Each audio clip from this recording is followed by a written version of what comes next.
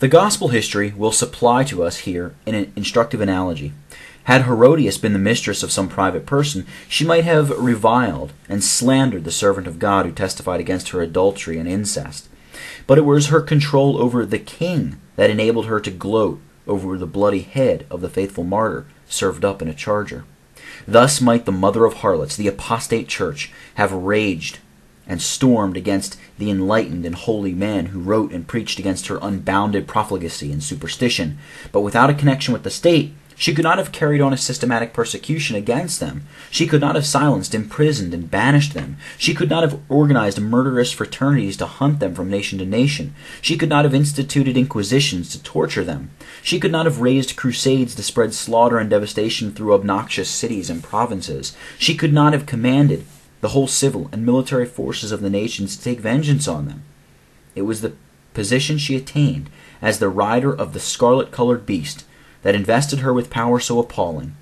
This savage monster, the seven headed beast, had raged and devoured before, but never in such fashion as after he came under the control and direction of the woman. Her wakeful jealousy, and untiring perseverance, and malignant enmity against true religion and the professors of it, goaded him on to such excesses of cruelty as had no parallel in the history of the world. Then indeed the prophetic character of the beast was verified in the letter, he became, quote, dreadful and terrible, devoured and brake in pieces, and stamped the residue with his feet, unquote. Was steeped in blood himself, and kept the cup of his insatiable rider perpetually full of the blood of the saints. It is humiliating and melancholy to reflect that the remarks now made respecting the apostate Church of Rome may, to a large extent, be truly applied to the Protestant Church of England. That church is literally and undeniably a creature of the state. Her articles, her canons, her liturgy, her form of church government were all of them enacted for her by civil authority. She neither has now nor ever had power to deliberate on the question in a judicial or ecclesiastical capacity, whether she should receive or reject them. Henry, in the exercise in the exercise of his own despotic authority, abolished popery and made the church to a certain extent a Protestant church. His daughter Mary founded Protestant and summarily made it a Popish church. Her sister founded Popish, and in the same summary manner, and in the exercise of the very same Erastian principle, made it Protestant again. Little alteration has been made on it since the time of Elizabeth. New prayers have been added to the liturgy or new holidays to the calendar, but for any constitutional or substantial reform, that church is powerless. The Church of Rome herself is scarcely more iron bound against improvement by her alleged infallibility than the Church of England by the royal prerogative. At their entrance upon office, her clergy are all bound by solemn oath to uphold and maintain the royal supremacy, the, pro- the prolific source of her manifold abuses. Whence is it that she has no discipline, that the immoral and profane crowd to her communion, that Arminian and other gross errors have for ages been preached in her pulpits by three fourths or four fifths of her clergy, that when the errors of Romanism are spreading in her like a gangrene, infecting her universities and multitudes of her ministers, she has no judicial power to arrest or expel them, that no convocation of her clergy has met for the transaction of business for more than a hundred years that she has no power to alter or amend a canon or a ceremony or a prayer in her liturgy or the legal apparel of her ministers, or to shift or change a pin or a loop of her tabernacle. All this is owing to her being unequally yoked to an irreligious civil government. Nearly half a million of the wealth which the state expends upon her is devoted to sinecures 163,000 pounds annually is paid to 26 bishops. 300,000 pounds per annum is expended on cathedrals. Not a single pastor or bishop, in the scriptural sense of that term, is supported by all this. With a moderate endowment to each, such as is paid by government to Presbyterian ministers in England, uh, in Ireland, excuse me, this sum would support from four to five thousand ministers, but perhaps they are not required. The friends of the Church, including some of her dignitaries, declare that they are most urgently required, that the existing destitution, even in the, metro- in the metropolis of the empire, is appalling. An English nobleman lately deceased, who a few years ago published a scheme of reformation for the Church of England, states that within a circle of ten miles around London, over 900 uh, excuse me, about 900,000 persons are cut off from all share in the pastoral offices of religion. And why, you may demand, can such a state of matters be allowed to exist for a single year? Why are not the bishops at once relieved from the overwhelming load of wealth and dignity by which they are incapacitated from pastoral duty? And why are not these enormous, uh, these enormous sinecures abolished, and the wealth so long lavished upon them at once appropriated to the legitimate objects of an established church, the providing of sound religious instruction for the people that the Dead Sea of insurrection may be healed, and that the moral mis Madatats, mismata that spring from it, excuse me, the rationalism and socialism and chartism and rockism and repealism and countless other disorders which abound throughout the community may be speedily dissipated? Lord, Hen- Lord Henley, excuse me, will explain to us why these things are not done. Quote, On inspecting the list of dignitaries, he says, it will be found that not more than one in twenty of them has any claim to preferment on the ground of theological or even of literary attainments. Parliamentary influence, family connections, party gratitude have filled up the vacancies as they occurred, with the sons, brothers, and favorers of ministers and their adherents.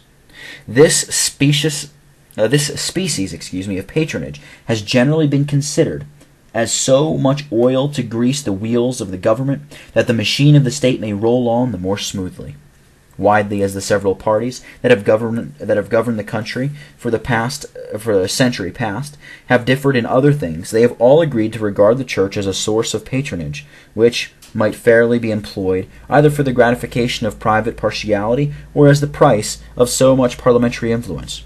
Unquote.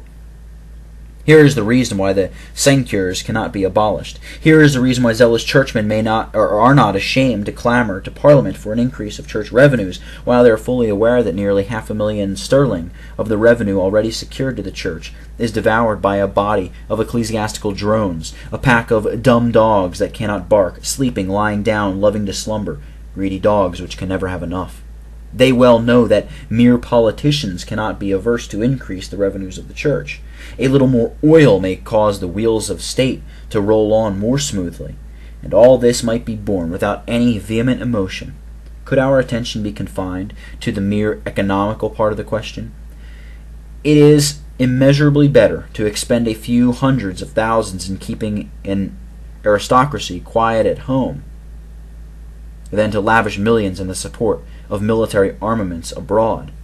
But when we view the question in its religious bearings and recollect that this politico ecclesiastical, semi popish, semi Protestant institution is held out to the people as the church of the living God, that multitudes of unconverted and heretical men, uh, Demases, Judases, and Simon Magases, are thrust into the pulpits as the spiritual guides which the government has provided for millions of immortal beings.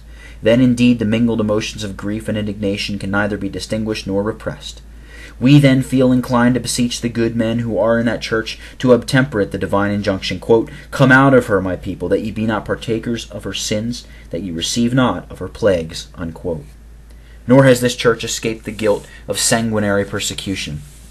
The sufferings of the nonconformists for nearly 150 years will furnish another chapter in the history of alliances between the church and irreligious civil rulers. The bloodshed by Gardiner and Bonner in the days of the British Jezebel, Queen Mary, may be justly ascribed to the spirit of popery. But the multiplied sufferings of the Puritans under Parker and Bancroft and Whitgift and Laud, with the concurrence and sanction of Protestant civil rulers, cannot be traced to such an origin. The blind bigotry of the last of these archbishops brought a moral blight over England, the effects of which are not yet exhausted. Many thousand families who could not be permitted to worship God at home, agreeably to the light of His Word, were compelled by the rage of fellow Christians to seek refuge among the more hospitable savages of the Western world. There the Pilgrim Fathers, going and weeping, scattered widely the precious seed of the gospel truth, and many generations have already reaped the precious fruit. By the act of uniformity at the restoration of Charles II, above 2,000 excellent ministers were driven from their flocks, and together with their starving families compelled to wander as fugitives on the earth. An estimate was made of nearly 8,000 Protestant dissenters who perished in prison under the reign of Charles. In their trade and outward estates, it was computed that they had suffered in a few years not less than to the amount of two million, uh, two millions sterling. And a list of 60,000 persons was taken who had suffered in England by the penal laws, either in their persons or their property, between the Restoration and the Revolution. Of the fearful oppressions endured by the Scottish Covenanters during the same period, my brethren who preceded me, who preceded me, in this course of lectures have already spoken. Now, whatever the Church of England might have been in other respects, heretical in doctrine, lax in her discipline, superstitious in her worship, or scandalous in regard to the lives of multitudes of her clergy, this much is certain, that had she not been united to an immoral civil government, she never could have been a persecuting church. She never could have borne this in, indubitable mark of descent from the church whose emblem is an unchaste and cruel woman, quote, drunken with the blood of the saints and with the blood of the martyrs of Jesus unquote.